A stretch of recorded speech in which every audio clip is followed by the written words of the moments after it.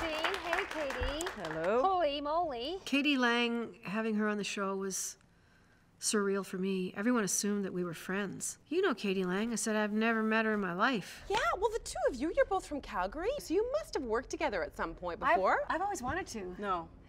Well, we just haven't found the right project, I don't I've never looked. This has been like a masterclass in meeting famous people, I think, like acting on the show. Because I was I was pretty calm and collected, but Deborah Grover was just having like a f- like a major freak out because she's a major K.D. Lang fan. Camera one, stay off the old way for obvious reasons.